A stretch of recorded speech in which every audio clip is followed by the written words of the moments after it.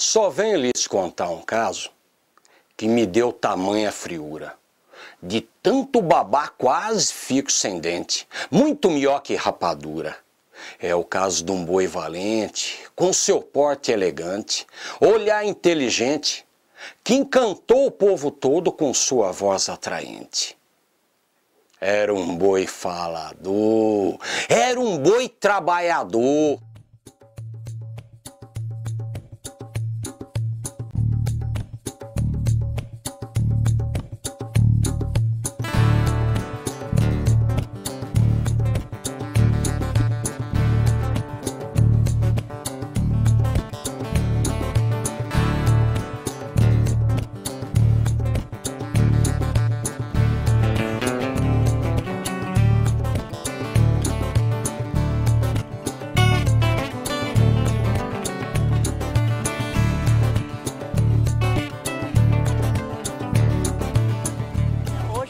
nós, moradores aqui de Barão Geraldo, é o dia mais importante do ano. É o dia que a gente encontra com os colegas, é o dia que a gente vê a movimentação, a, o valor que o pessoal de Barão, os, o comércio, para tudo para assistir essa grande festa do Boi Falou. A Festa do Boi Falou faz parte da agenda cultural da cidade de Campinas há 13 anos Várias atrações culturais e artísticas são apresentadas nesse dia, que atrai centenas de pessoas que comem o macarrão depois de abençoado pelo pároco local. A lenda revela é, o que estava ocorrendo à época, que era o seguinte: na região já havia italianos, tá? É, o pessoal fazia, no, nos fins de semana, fazia aquela grande macarronada, os italianos. Os negros eram convidados, os escravos eram convidados, participavam juntos. Toda Sexta-feira Santa, um grupo de voluntários cozinha quase uma tonelada de macarrão e 300 litros de molho de tomate com sardinha. Diz a lenda que quem comer o macarrão do Boi Falou na Sexta-feira Santa terá fartura o resto do ano. A festa do Boi Falou reúne aspectos culturais, religiosos e sociais e representa a libertação através da lenda do escravo Toninho.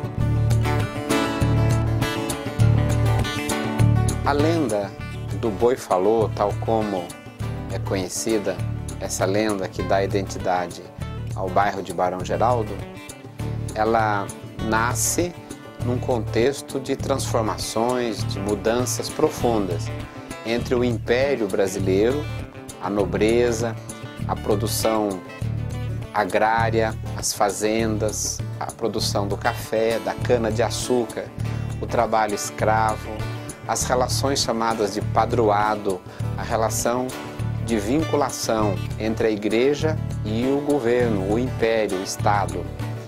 Esse império e essas relações são representadas aqui pela figura do barão, pelas relações de hierarquia, pela disposição do escravo Toninho, que representa a composição social do império.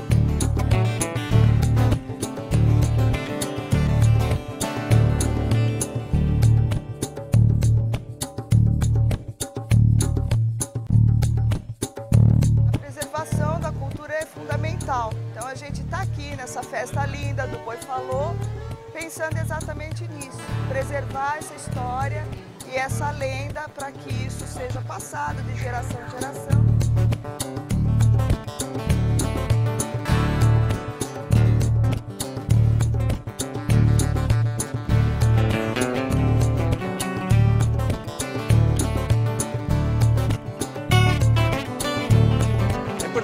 Festa, que além de a gente estar resgatando a lenda, fazendo um trabalho da questão da história, de, de mostrar a questão da religiosidade, da questão da escravatura, todo o contexto histórico que a gente leva para as pessoas, a grande importância dela é de envolver a população dentro do, do contexto dela, dentro da região dela, dentro do distrito dela.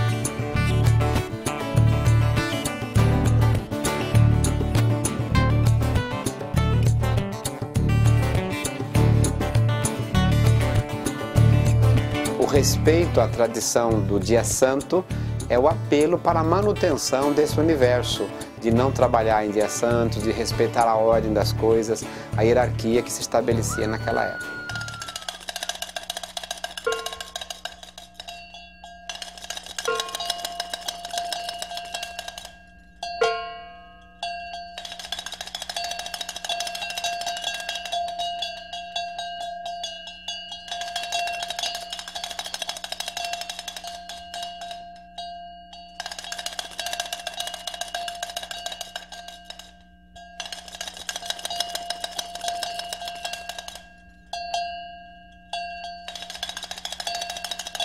Conversas que eu tenho tido sobre o boi, sobre a solidariedade e sobre esse, o hábito que foi trazido de, dessa confraternização entre italianos e negros, esse hábito de comer debaixo das mangueiras, comer o macarrão domingueiro, é, eu vejo nisso, então, essa a Eucaristia, que é compartilhar